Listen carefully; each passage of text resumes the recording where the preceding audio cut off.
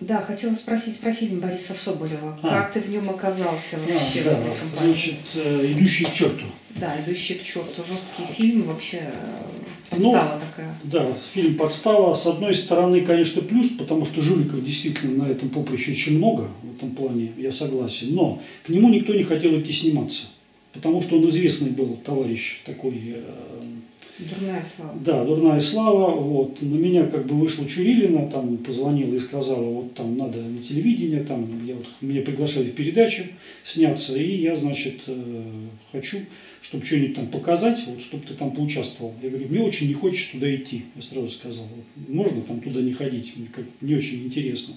Вот.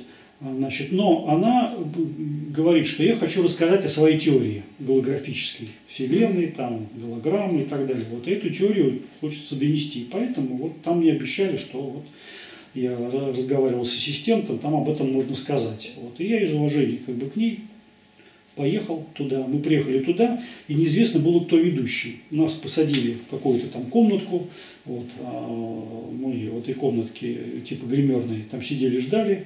И когда нас э, привели туда, мы снимались отдельно. Отдельно снимался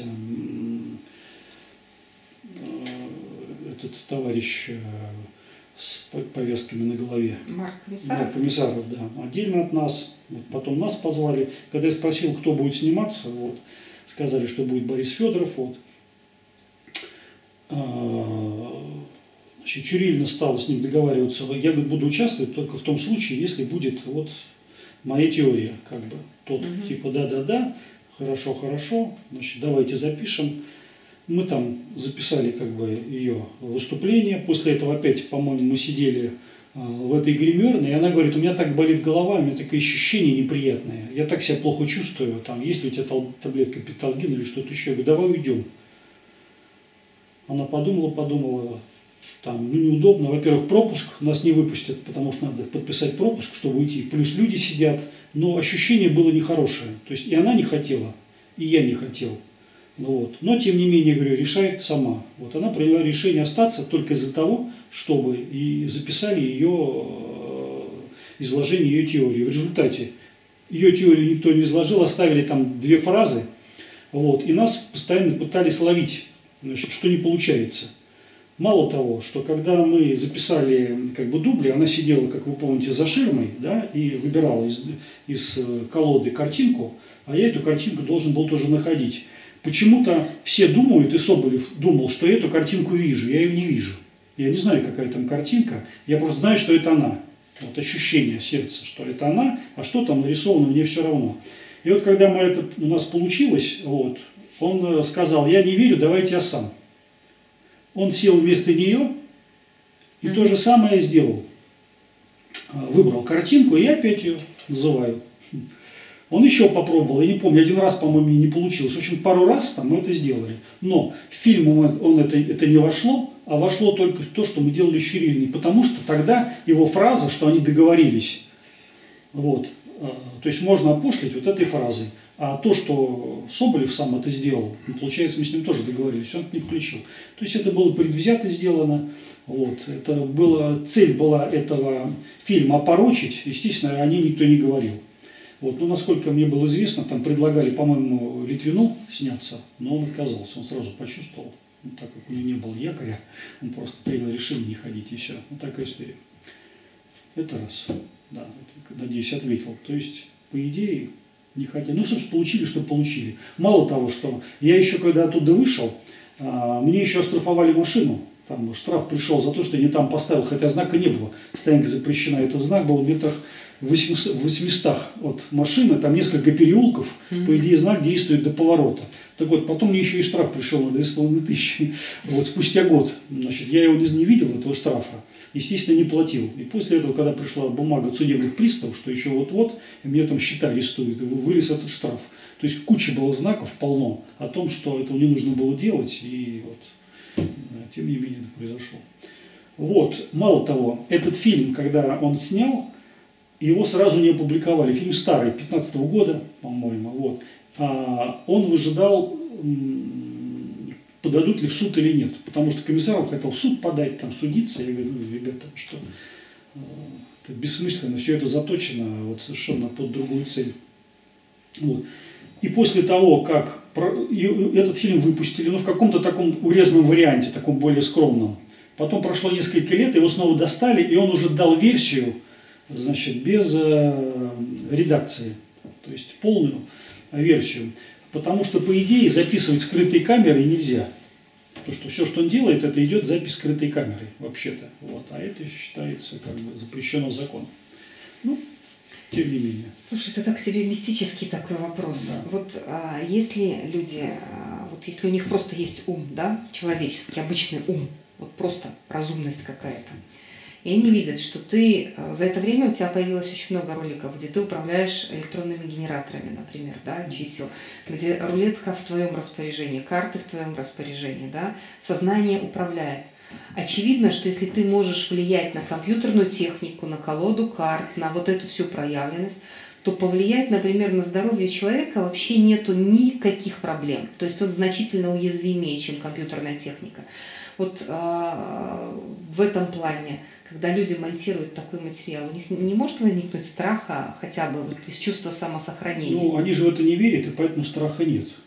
Вот. А, Но ну, на здоровье это все равно сказывается. Ну, я же не буду говорить все, что я там могу напланировать. Поживем, увидим.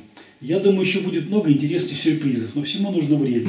Кстати, один уже состоялся, просто о нем никто не знает, но там с одним из членов этой команды, который снимал, там уже неприятности произошли летальные.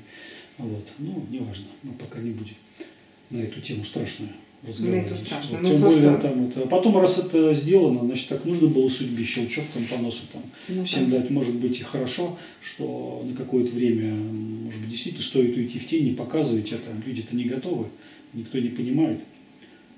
Вот. Ну, то, что не готовы, это не готовы. А ты расскажи про эти 12 да. чисел. Это, Значит, это же вообще да, история тут, э, сумасшедшая. Да, стали на эту тему разговаривать. Я вспомнил одну подробность, деталь, как, про которую никто не знает. Я сейчас расскажу.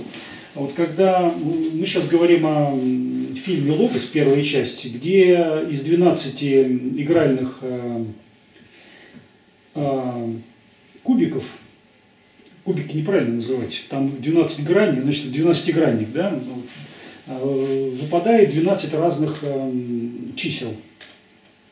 Кстати, это не, не исходник у меня, в котором было видно-то это, мне нужно было исходник найти. Вот, да, и там была интересная штука, ну, сейчас тогда постараюсь объяснить, мистическая. А, когда я э, попытался записать, э, чтобы выпало 12 разных чисел на 12 этих 12 гранниках, а, я попробовал несколько раз, и у меня совпадало, все числа были разные, кроме двух одинаковых. Затем еще раз попробовал, опять два числа одинаковые. После этого я делаю перерыв там в пару часов, затем опять начинаю записывать, открываю значит, экран, и меня выпадает с первого раза 12 этих э, разных чисел. Вот. И когда я начал э, внимательно смотреть, я обнаружил, что когда вот выпадает 12 чисел, а, вот справа от эм, а, вот этого видеоокна видна тень. Я понял, что было на 12, а 13 этих кубиков. Поэтому у меня не получалось предыдущие разы. То есть действительно 12 выпадали, но был 13, который мешал. Я этого не знал. Кубиков много, я их пересчит... не считаю просто. Вот. И в очередной раз, когда я сделал сам себе запрос, пусть выпадут 12 э, этих многоугольников с разными числами, действительно выпало 12 с разными числами, но оказывается 13 был спрятан за вот этим экраном.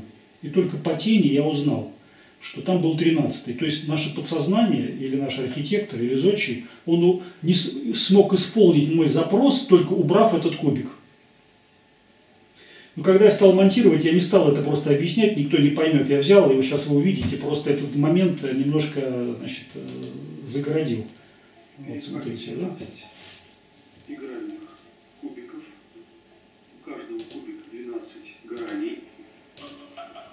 Пусть выпадет комбинация,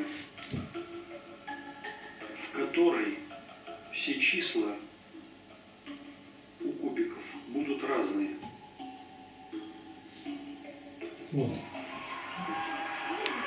Я там продолжаю говорить что-то, но уже не относящееся к делу. Я закрыл. Я там закатил глаза, и дальше я нажимаю на кнопку.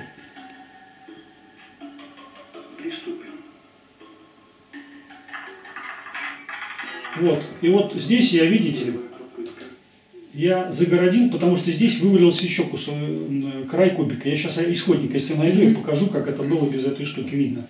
И когда я стал смотреть, я не понял, что случилось. Вот. А потом увидел, что это 13 спрятанный. Я его просто убрал, потому что объяснить это там в фильме это ни к чему, вот, потому что все равно нереальные как бы вещи. Ну, вот по факту произошло то, что мое подсознание, чтобы исполнить, было вынуждено его спрятать. И сколько раз подряд повторить? Да, и сколько раз передо мной повторить, пока я не понял, он просто взял и взяло, и потом его, и я и не понял, что их было 13, и тогда это было убрано.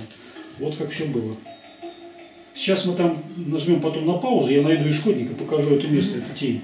Вот я пересчитываю, потому что я сам немножко удивился.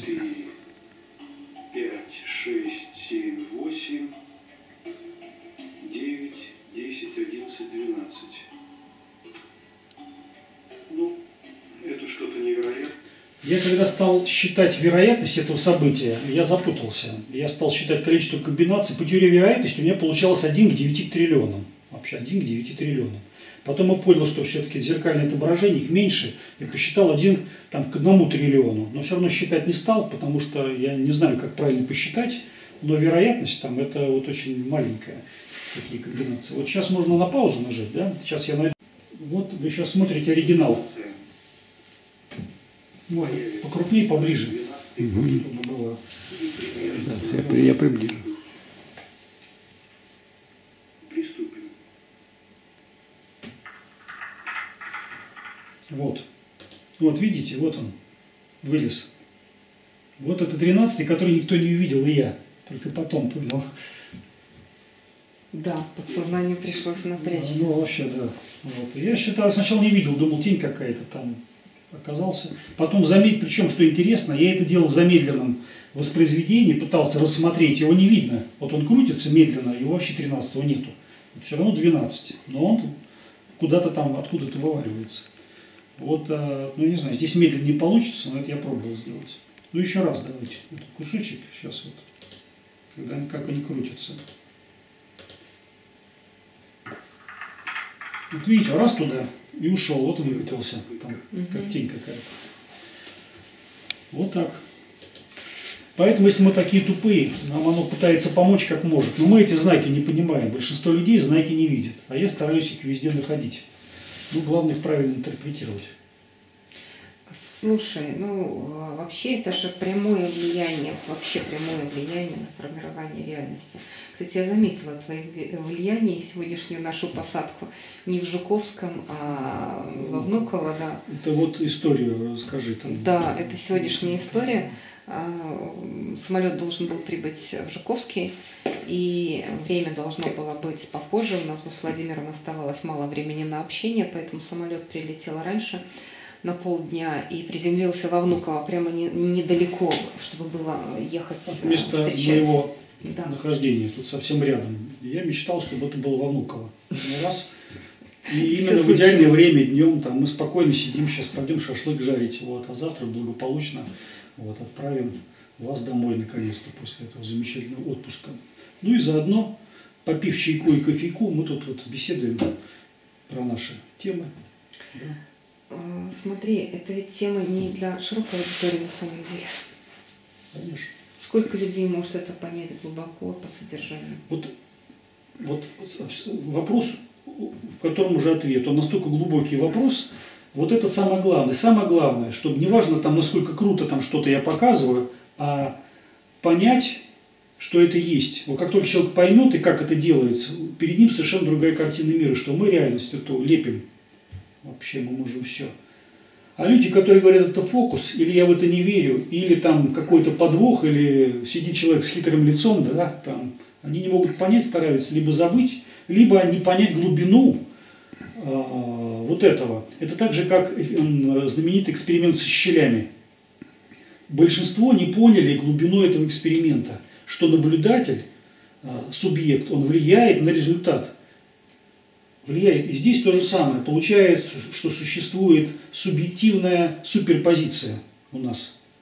Вот, вот этот мир – это субъективная суперпозиция. Мы из этой суперпозиции с помощью внимания, усилий воли, я не знаю чего, создаем, корректируем то, что нам нужно. Вот, кто это понял, тот молодец. У того все будет хорошо. Кто это не понял, тот дальше будет бегать потным и грязным. По замкнутому кругу. По лесу. Ну, э, на самом деле, людей, понимающих, когда ты показываешь, а человек даже не способен оценить, э, осознать то, что он видит. Согласен. Ну, это так же, как люди слушают там сложную музыку. Действительно, понимающих мало. Это человек продвинутый должен быть, да, когда там Скрябин что-то там изобретал, его слушали, говорит, не очень там понятно, интересно, или Шостакович, да, а на самом деле это же просто движение души, там такая музыка, это поймут не все. Так и здесь. Понимают единицы, ну и хорошо, пусть будут единицы. Зачем нам много? Слишком, когда все будут все понимать, это же не мир будет, это кошмар. Война магов, как я говорил, агрессия. Все начнут друг друга давить, удалять, вот, э, пытаться там, как это называется, аннигилировать, превратить в ничто. Ну вот на самом деле, когда у человека есть определенные магические способности, он способен осознавать, как он влияет и влияет на результат, а, конечно же, он будет применять это в своей жизни на то, чтобы чувствовать себя максимально комфортно. Если таких людей будет много, то да. Мир будет сложнее. Мир будет сложнее на порядок. Поэтому много не может быть. Как не может быть много начальников? Вот людей достойных много, но начальник один, вакансия одна. Поэтому вакансий мало. Если будет много, значит будет супермаг какой-то, который будет еще там больше там влиять. Или вот и вот я про что, что в природе должно быть определенное количество людей не очень умных, немножко умных, мало гениев и так далее. Если все будут такими, то или равными, или одинаковыми, да, но это будет несерьезно. Все должно быть, все должно быть разным. Вот. И поэтому что есть, то есть. Вот. Ну да. Я думаю, что все, э, и чем больше я э, начинаю это понимать, тем больше понимаю, насколько гениально все придумано. И этот мир, который мы хотим исправить, ничего исправлять не надо. Корректируй там под себя, там, насколько тебе это дано. Свою реальность. Свою реальность. Для этого и нам предоставлена возможность. Э, вон мы в реальной жизни выбираем машину, что на эти деньги можно купить вот пять моделей. Вот выбрали. Так и тут. Я выбираю такую или чуть-чуть подкорректировал. Ну там, не будем вызывать зависть. Поэтому я не, мало о себе рассказываю, мало показываю условия, в которых живу. Ну зачем? Потому что люди также могут позавидовать, испортить что-то там себе. Вот, в результате этой зависти. Потому что ответка к ним придет. Поэтому я стараюсь вот, избавить от лишней информации от людей. Ну, ну да, ты, ты человек инкогнито на самом деле. Вот если брать, и тебе информации везде минимум. И даже фамилия бесфамильная – это обнуление информации. Совершенно верно. Причем бесфамильный через букву «С». Шутка, да, была заложена? Какая шутка? Там глубокий смысл во всем. Я все продумал. А, да, ну, обратите внимание, меня нет в соцсетях. ВКонтакте, в Фейсбуке, где-то там еще, да, я не выпрашиваю лайки, не накручиваю просмотры, не, не бегу там за каким-то количеством, мне вообще пофигу, извиняюсь за не очень корректное выражение, вот, потому что я понимаю, что это эксклюзив, и если 2-3 человека поймут, что я делаю, то вполне достаточно много и не надо. А остальные пусть подтягиваются, учатся там, я думаю, вполне достаточно. И поэтому я всегда и скажу, кому надо, тот найдет это видео, посмотрит его, поймет, о чем идет речь, и сделает выводы. Вот и все. А таких людей, к сожалению, может быть, часть единицы. Ну и слава богу. Смотри, а, вот если идти к темам будущего, да, у меня все-таки есть мысли, чтобы мы с тобой посотрудничали на, на тему обучения тех людей, которых единица. Да?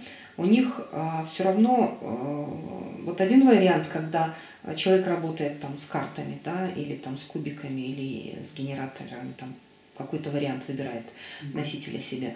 Другой вариант, что у человека есть или сегодня еще нету собственного бизнеса, да, а, и он его может в голове своей создать, он может запустить, он может изменить условия своей жизни. И, ну, в частности, так как ты человек в прошлом бизнеса, да, то тема деньги, тема бизнес, тема моделирования реальности, она вообще твоя тема. Ты не только можешь научить, как вести и как быть успешным в этой жизни, но одновременно дать глубинные знания здесь. Если мы совместим э, твои знания и, например, наш опыт, который мы наработали по коррекции в психике тех программ, которые мешают человеку быть богатым, успешным и так далее. Ведь не секрет, что в подсознании там есть и программы раскулачивания, и родовые травмы, и там виселица, и все что угодно. И в эту жизнь человек приходит, и он не знает, откуда ему прилетает, почему у него ничего не складывается, не получается и так далее. А душа может быть старой, и мы реально ей можем помочь в короткий промежуток вот, времени. Э, ты сказала очень правильную, мудрую вещь, я сейчас уточню я воспринимаю как? Раз, э, да, это возможно, раз душа получает через нас опыт эмоциональный в этом мире, ведь можно этот опыт получать более комфортно. Вот и к чему. Что можно получить опыт, там, идя по лесу, там, выбив себе глаз, там, там, я не знаю, что-то сломав ногу, там, а можно точно такой же опыт получить, э, посмотрев по телевизору хороший спектакль, из, из, такие же эмоции испытав. Либо идти по хорошо расчищенной, расчищенной дороге. Да? Зачем идти через дебри, когда можно в ту же точку прийти по асфальту. И вот мы по асфальту можем повести. Просто, да, да, да, да. Вот я про что. Ускорить что, процесс. Что тот же самый опыт душа получит, но в более комфортных условиях. Это и есть персонализация. А, персонализация а, комфортной, более-менее комфортной жизни. Зачем жесть? Жесть это именно для того, кто не понимает, что происходит. И он набивает шишки, там, идя по болоту хотя знаки были, что там болото, и человек туда идет. Вот мы покажем, что туда идти не надо, или, по крайней мере, научим эти знаки э, понимать, или человеку каким-то интуитивным путем находить э, правильный путь э, в свою реальность. Да, потому что вопросы денег, вопросы бизнеса, вопросы моделирования бизнеса реальности, это получается самые актуальные сегодня вопросы для, для умной аудитории. Для умной, да. Или даже, наверное, для интеллектуальной, лучше сказать. Ну, сам факт, что человек этому пытаться будет научиться, это уже как минимум умный. Только что он уже не пропускает. Да, да это уже достаточно. Да. А тот, кто говорит, я в это не верю или там не хочу, что с ними будет дальше, вы скоро увидите. Вот. Там, ну, как бы человек идет по всем граблям значит, небольшого количества. Их на самом деле немного, но он почему-то их всех собрал. Вот. Я предлагаю пойти пожарить вырезку. Мы сейчас будем снимать, как мы будем жарить, как у вас будут течь слюни. Вот. Это эксклюзивная вырезка. Вот. Мы будем тут пить, наслаждаться, и вы будете смотреть результаты нашей реальности.